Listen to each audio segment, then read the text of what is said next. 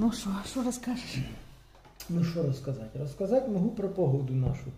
Вот такие вот бывают коленки выкидывает наши, наш климат. Погодные условия резко меняются. Пол зимы, больше чем пол зимы не было вообще снега. Маленький снег улегся, да, где-то на недельку-полторы растаял, а сейчас он завалило по колено. Мой сосед в конце улицы живет, молодой, второй год здесь только живет. Позапрошлом году небольшой снег, в прошлом году вообще не было. Так он говорит, господи, хоть бы снегу укинуло. А я говорю, ты что, дурак, блин, нафига он Лучше бы его в эту зиму не было. Потому что были такие годы, пока у нас эта веранда не была пристроена, когда мы только переселились сюда, в этот дом, засыпало снегом, ну, наверное, метр перед, перед дверями, и двери открывались наружу. И надо было этим, открыть, лопату в руки, кругом хаты, кругом дома обойти это все, откидать. И пока на работу ехать, уже настолько напашешься на этом снегу, что... А еще на работе обычно приедешь, там субботник объявляют чист, по чистке снега. Еще там с лопатой побегаешь по всем этим тротуарам, улицам. Тогда трактора не было в организации. Сейчас-то трактор есть. Заведут, проедут, очистят эти дороги. А тогда все вручную расчищали. И пока это все сделаешь, то уже настолько напашешься. Уже придешь, сядешь за стол рабочий, уже и мысли никакие в голову не лезут. Ничего нельзя сформулировать. Вот. А сейчас у нас, наверное, месяц будет вот такой погоды со снежком, с морозцом. А ты смотрел, да? Перепады, да. Перепады на 10 дней я смотрел прогноз. Где-то обещают градусов так 7-10 мороза на ночь. Утром Э, от немножко отпускает, там 2-3, иногда даже оттепель, плюсовая температура обещают на протяжении 10 последующих дней. Вот. А так, кто его знает. Ну, в принципе, нормальная зима. Как для нас нормальная зима. И слава Богу, что все-таки этот снег улегся. Мешает проезду, мешает, конечно, э, работе. С другой стороны, хорошо, то, что перед уляганием снега земля не совсем промерзла, она все-таки кое-где оттаявшая. Вот сейчас я э, вытягиваю, открываю ворота, и там шворень стоит такой, запиналка такая под дверью, чтобы дверь упор делать для дверей. То я там, где снега нет, где я откинул, земля промерзшая. Пробить этим штырем нельзя. А где снег лежит, легко, шух и ходит. То есть под снегом где снег, снег улегся нормально лежит, земля не совсем промерзшая, поэтому э, на момент таяния этих снеговых э, толщ, снеговых масс, э, земля способна будет эту всю влагу в себя впитать. Это очень важно для того, чтобы не было сильного поверхностного смыва, чтобы эта земля пошла, вода пошла прямо в землю, насыщились водные горизонты, подпочвенные горизонты, весной будет все нормально после этого снега должна быть хорошая, красивая, зеленая, цветущая весна. Поэтому снег этот, в общем-то, на пользу нам всем. Особенно здесь, в лесостепи, где почвообразующие породы выступают вот эти лесовидные суглинки, которые хорошо эту влагу упитывают и держат в капиллярных структурах, подолгу удерживают, связывают ее. Вот. Это для нас это зимняя влага э, влага, полученная в результате таяния, таяния снега, очень довольно существенная для, для деревьев, для кустарников, для зимых различных и так далее и тому подобное. Вот эта влага очень-очень важна. Это хорошо, пусть падает. Ладно, лопатой откидаем, где мешает, будем откидывать. Да. А ранее интересно будет в этом году весна, не слышал? Вот это всем интересно, но однозначно на этот вопрос никто не ответит. Да? Ну, Вы смотрели погоду, я имею в виду? Прогнозы, долгосрочные прогнозы погоды, это, это ерунда. Месяц, два, три. Никто никогда не угадывает. Вот три дня, пять дней есть очень частые. Даже иногда два-три дня ошибки бывают. Раньше они были более частыми, а сейчас иногда бывают эти ошибки. В общем-то, на три дня довольно так, довольно уверенно, когда смотришь и показывает ситуацию, уже может быть, если вот сегодня я посмотрел прогноз на 3-5 дней, и вот так сориентирован на, на такой прогноз погоды. Вот завтра утром, если смотришь, меняется в какую-то сторону, жди и послезавтра изменят в какую-то сторону. То есть что-то они там не совсем правильно спрогнозировали. А если стабильно, то, что планировали, прогнозировали сегодня, посмотрели завтра, ну это уже считай, что на 2-3 дня у тебя прогноз реальный, который, на который можно ориентироваться и планы строить какие-то там. Вот. Да, ну сейчас видишь, и сады ж ты хотел чистить, и не получится. Ну сейчас сады, не куда засыпало Стволы все. мерзлые, обсыпанные снегом, это же надо и на дерево вылезти, и, и лестницу с собой таскать, а снега у нас по колено, это все трудно физически. Вот. Да. В пекарях надо было не почистить. Здесь-то я почищу любой день, обчищу крону.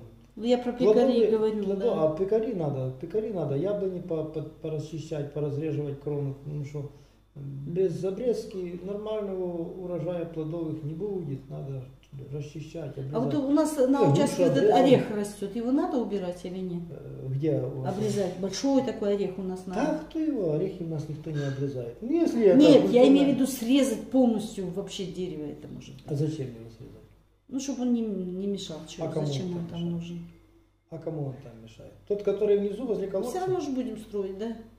Если будете строить, это срежет. Тогда и срезу. А что сейчас резать-то его? Ну, я имею в виду, то он только грязь создает, вот эти осенью столько листьев, там веток. Да Если наоборот, он придавливает растительность, он не дает крапиве расти, он под ним чисто, Да? наоборот под ним чисто. Нет, я имею в виду осенью. И орехи кое-какие собираем с него. Этот самый возле колодца самый плодовитый и самый э, выгодный, потому Ну, что все остальные пусть будет поменьше тогда. плоды. Этот пусть, пусть бы рос в последнее время, когда уже вот соберетесь строиться, тогда вы и срежете это Хорошо. дерево. А сейчас пускай растет, что он там мешает. Наверху я же там срезали, мы же там Валера, я, Тарас резали. И там вверху посрезали пять деревьев. Мелкие такие орехи были, ненужные вообще. Мы их убрали. На дрова убрали. Вон там на Галкином участке тоже поубирали, которые невозможно было за ними. С них урожай взять невозможно, потому что разрослись кроны высокие, и они затеняют, и соседний огород нарекают. И, пойди и у нас он ни к чему этот орех. Мы его срезали, на дрова забрали. Когда сырой, тяжелый, вытянули его. Кузов привезли сюда, порезали, сейчас он в поленницу сложил. Хай собі сохнуть, дрова висохнуть, будем топить горіховими дрова.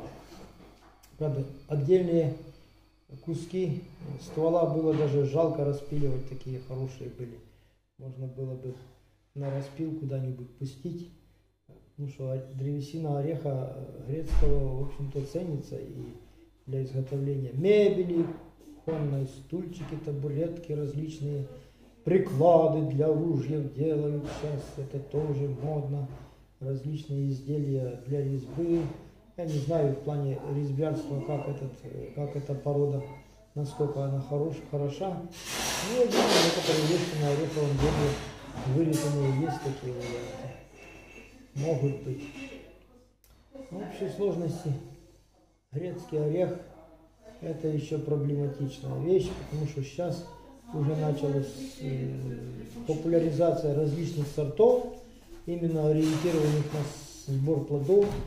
Вот. А в плане древесины черный орех очень такое популярное дерево в лесохозяйственном отношении. Его высаживают, э, ну, небольшие плантации такие, там гектарные плантации садят, потому что его древесина особо ценится в мебельном производстве вот, на мировом рынке. Его пускают в ход как товарную древесину. А грецкий орех, в общем-то, главные ориентиры это все-таки на орех, на сам плод. Сам плод. Отдельные зимы у нас бывают проблемы с ними, потому что они обмерзать могут, если сильные морозы, 25 до 30 градусов у нас такое иногда бывает. В этом году, слава богу, не было. Вот, орех может обмерзать, особенно когда сильные ветры. И 85-6 год, зима 85-6 года, именно сюда я ехал на Канев из Киева в участок дороги между Степанцем и Каневым. Вся аллея вдоль дороги были обмерзшие орехи. Обмерзли они до нижней части ствола, а потом возобновились кроны из э, отрастающих из нижней части ствола побегов. а возобновились кроны. Старые ветки попадали, поусыхали, потрухли, ну, погнили, и повыламывало ветром, а молодая крона возобновилась. То есть такая у него система. Он довольно теплолюбивый вид. В Дневные годы у нас чаще, чем древесина, вымерзают цветочные почки. Бывает, что нету орехов. Бывает, что даже во время цветения ореха бывают заморозки в отдельных местах. Но это в зависимости от условий, микроклиматических условий. Вот в Пикарях у нас какое-то года 4-5 тому назад повымерзали полностью орехи, слива даже, абрикос завязавшийся, почернел полностью, обмерз. А здесь у нас нет. Здесь у нас были на горе. То есть это уже влияние микроклиматических условий. На каком месте расположен участок и как, насколько продолжительными эти заморозки. Здесь у нас чуть-чуть прихватило морозом, там около нуля, около 1 градуса, а там 5, минус 5 на протяжении нескольких часов. И все эти плоды погибли. Микроклимат очень большое значение имеет в плане высаживания различных садовых культур. Ореховых, садовых, садовых, плодовых культур. Вася, давай чай пить будем. Давай, спасибо. Держи. Ой. Ой, хоть бы откопаться утром. Благослови всех, кто входит в этот дом, окрыляй всех, кто выходит из него, и дай мир навеки всем, кто в нем, а, в, в нем остается. Аминь.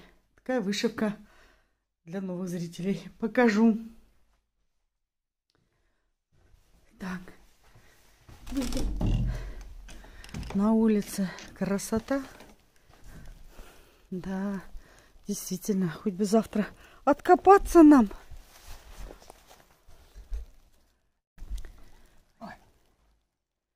Привязал кусок, видишь?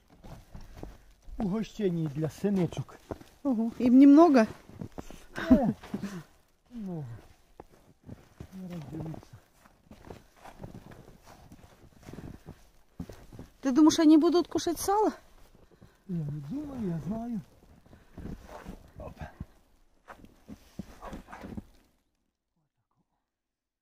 Вісім, щоб коти не достали, бо котам ми дамо окрему пойку. А це синичкам.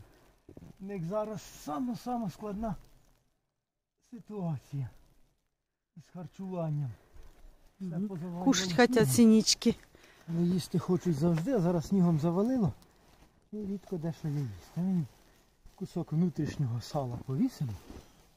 І в першу чергу синиці. Горобці то вони знайдуть собі бур'ян якийсь. А синичкам треба тваринного, животного происхождения. Їда. Ну, зараз отойдеш, вони вже знайдуть. Да? Да. Вася, внутреннее сало. Мы им угощение привезли с Тетива.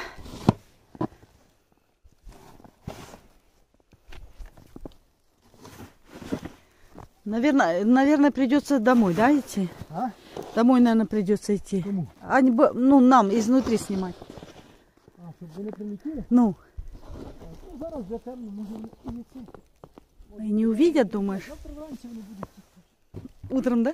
А, значит, утром снимем. А ну-ка.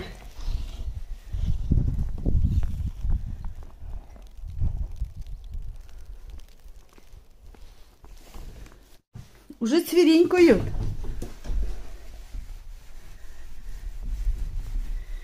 Уже цвиренькают, сейчас должны прилететь.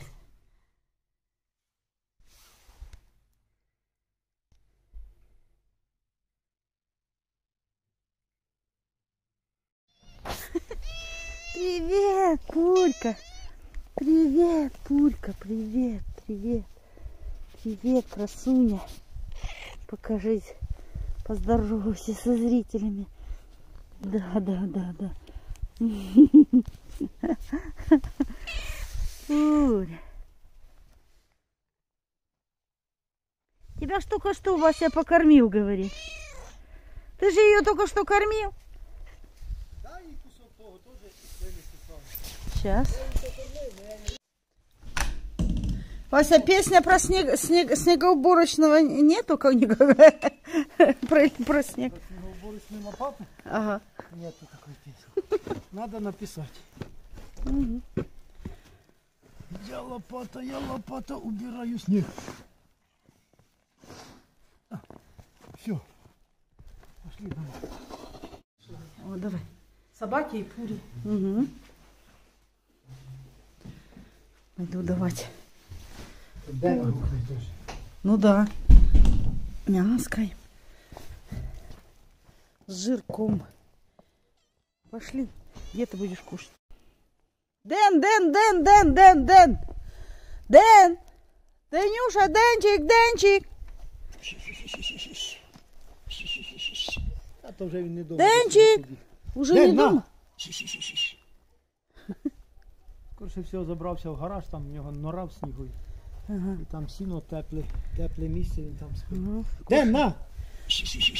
Денчик, Денчик. Да он, наверное, вообще на улице где-то бегает. Я так думаю. Кудись побіг, да. Ага. Ну ладно. Пуря, значит, тогда все съест.